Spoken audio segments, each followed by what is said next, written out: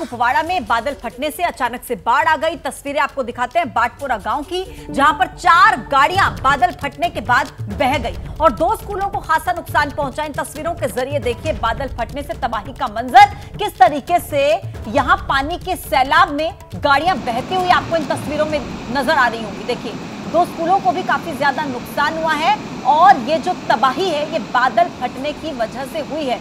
कुपवाड़ा की तस्वीरें हैं। इस जल सैलाब में अचानक से गाड़ियाँ बहती हुई नज़र आ रही हैं। तस्वीरें आपके सामने, कुपवाड़ा इलाका, जहाँ बादल फटने से किस तरीके से मलबा जब लोगों के घरों तक पहुँचा, कैसी तबाही मचाई इस मलबे ने? कुपवाड़ा में बादल फटने के बाद अचानक से बाढ़ आ गई, मलबा लोगों के घरों तक में घुसने लगा, सड़कें पूरी तरीके से तबाह हो गई हैं, तस्वीरें आपके सामने हैं। तो इस वक्त क्या पहाड़, क्या मैदान? हर जगह बाढ़, बारिश की वजह से लोगों की ज़िंदगी इस वक्त काफ़ी मुश्किलों में फंस गई है। एक्सक्लूसिव तस्वीरें आपके सामने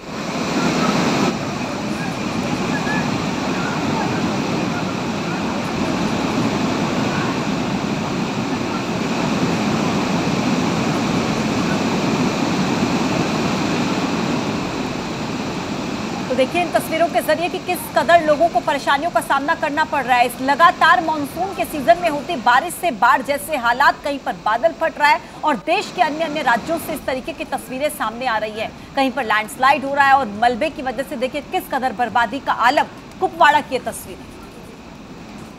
जम्मू कश्मीर के कुपवाड़ा की तस्वीरें आपने देखी। बात गुजरात के अमरेली की करते हैं। वहाँ भी मूसलाधार बारिश की वजह से कई गाँव में बाढ़ जैसे हालात बन गए हैं। निचले इलाकों में पानी भरने से लोगों को परेशानी का सामना करना पड़ रहा है। तो गुजरात के कई ऐसे ज़िले हैं जहाँ इस वक्त मुश्किल हालात हैं।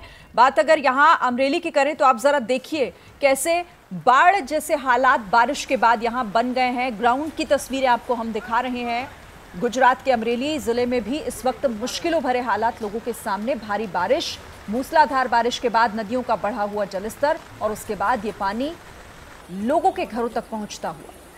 तो देखिए, पानी का ये फ्लो आप देख रहे हैं, ये पानी की धारा जो लगातार बढ़ रही है और सड़कों पर बुरे हालात। कई घर जो पानी में बहते नज़र आए और बाढ़ जैसे हालात बारिश की वजह से गुजरात के अमरेली।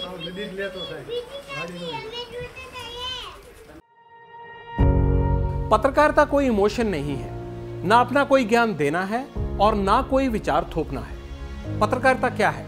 पत्रकारिता का मतलब है सही जानकारी इकट्ठा करना और तथ्य बताना। पत्रकारिता आज जितने महत्वपूर्ण दौर में है, शायद पहले नहीं थी। इस दौर से निकलने के लिए सिर्फ़ सच दिखाने की ज़रूरत है। वो सच जो आपके हित को आगे रखे। इसलिए अब रात नौ बजे प्राइम टाइम नहीं होगा। ये आपका टाइम है। जगविंदर पटियाल के साथ देखिए पब्लिक इंटरेस्ट सोमवार से शुक्रवार रात 9 बजे, सिर्फ़ एबीपी न्यूज़ पर। एबीपी न्यूज़ आपको रखे आगे।